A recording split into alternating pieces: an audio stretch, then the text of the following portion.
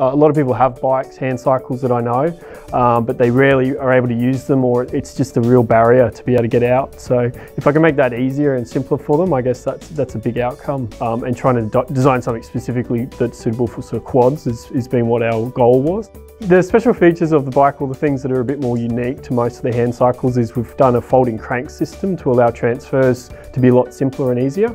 Uh, and we've also got electronic gearing, which we can basically adapt to whatever needs, sip puff, you know, voice activated, wrist activated buttons. It doesn't really matter. Once it's electronic, um, we can do whatever we need to to get it working for the person. Yeah, post injuries, I think it's like really good to get back into working out. Um, I went like a few years where I didn't really do much and I think mentally it didn't really help me at all. Um, as soon as I got out there and doing stuff, like definitely feel a bit more normal and back into life, yeah.